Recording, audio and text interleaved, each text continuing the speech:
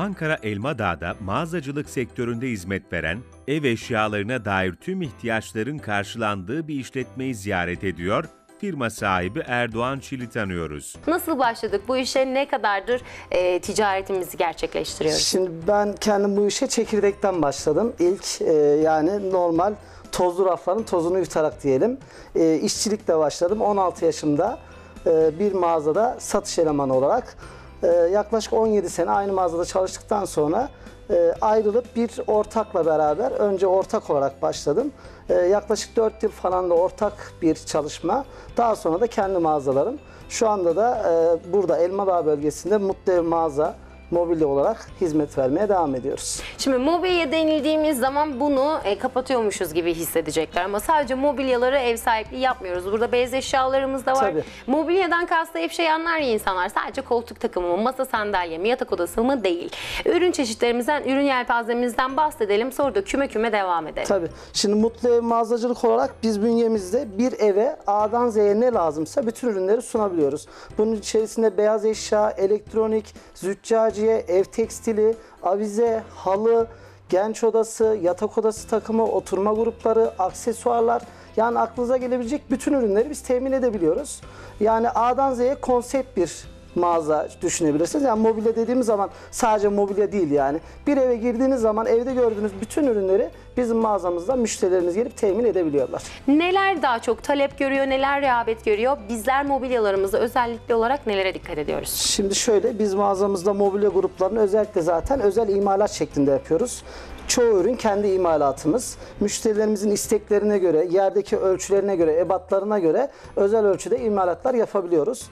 Kumaşlarımız tay tüyü, silinebilir, leke tutmayan kumaşlardan kullanıyoruz. Ve bunların tamamını satış kısmında olsun uzman satış ekibimiz var. Ee, sevkiyatı tamamen bize ait. Ürünleri kendi ekibimiz götürüyor. Müşterimizin evine kendi ekibimiz kuruyor. Ee, dolayısıyla bütün kurduğumuz ürünlerin arkasında biz varız. Arada aracı bir kurum, aracı bir teslimat kesinlikle yok. Beyaz eşya ve diğer gruplarda hep markalı ma- ürünlerle çalışıyoruz. Bunların hepsinin zaten dünya çapında markalı markalarımız var.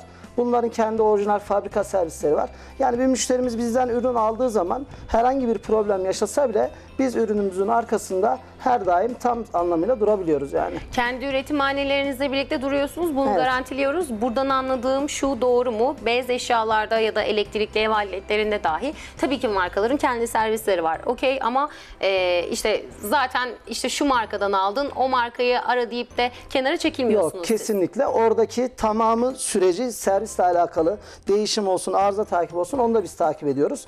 Gerekiyorsa değişim alınacak ürünü biz müşteriye yenisini veriyoruz. Fabrikadan gelecek ürünü kendimiz alıyoruz. Müşterimizi mağdur etmiyoruz o konuda. Mağazamız hakkında da şöyle bir bilgi vereyim. Ee, biz Elmadağ bölgesinde bu işi komplike olarak yani ev eşyaları, e, dayanıklı tüketim malları kategorisinde beyaz eşya, mobilya, halı, tekstil gibi ürünlerde bölgemizdeki en büyük mağazayız. Çeşit olarak da en büyük mağazayız. Metrekare olarak da en büyük mağazayız. Fiyatlar konusunda da bu bölgedeki en uygun fiyatları veren mağaza biziz.